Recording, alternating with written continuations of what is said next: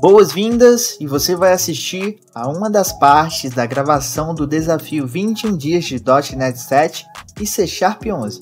Se você quiser ter acesso a todas as aulas gravadas desse desafio e de outros treinamentos, basta acessar o link da descrição e escolher um dos planos da nossa comunidade fechada. Eu fico por aqui e tenha uma boa aula!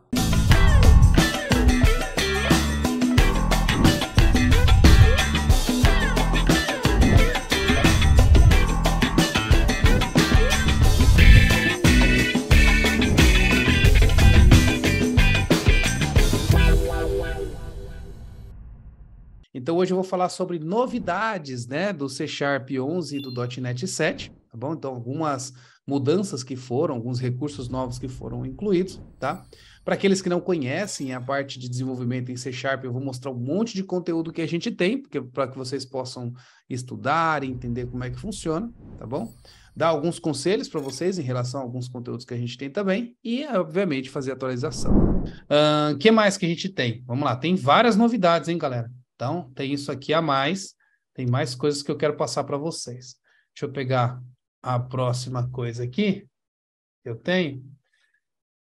Falei do atributo, falei do not, falei da concatenação de strings. Uh, aqui, uma outra coisa interessante que a gente tem aqui também é, no template string, além de você usar esse template que você consegue dar vários enters, né?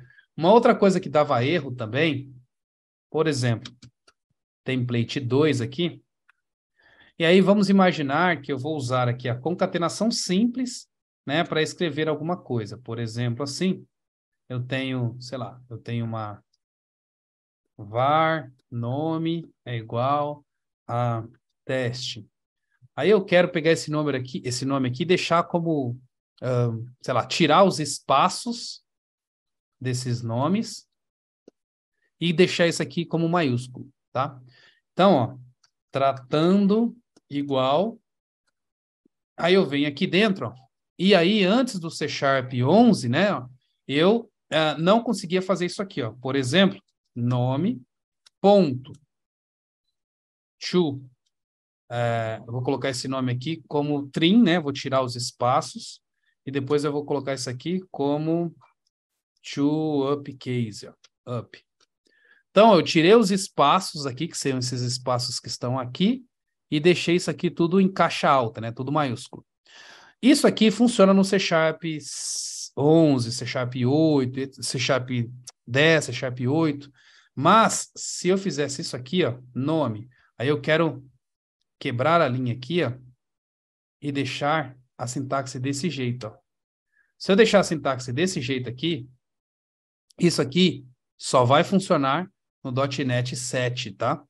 Ou seja, no C Sharp 11. Se eu for fazer essa mesma sintaxe que eu acabei de fazer aqui no .NET 6, ó, ou seja, C Sharp 10, isso aqui dá erro, ó. Tá vendo? Não funciona, tá vendo? Então, esse é um recurso que só vai funcionar no C Sharp 11 para cima, tá?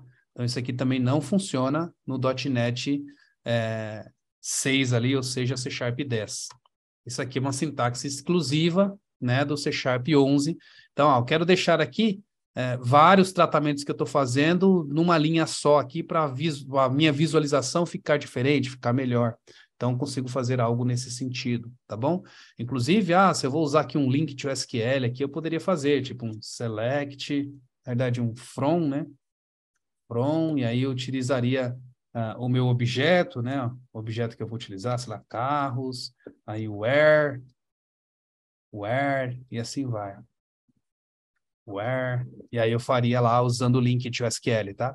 Ah, professor, o que é o link to SQL? Vocês têm também a aula de link to SQL. Aqui, ó. Link, ó, link to SQL, tá vendo? Então, essa aula aqui, vocês vão entender o que é o link to SQL que eu estava mencionando aqui. Ok? Então, mais um recurso novo ali do nosso querido aí C Sharp 11, tá?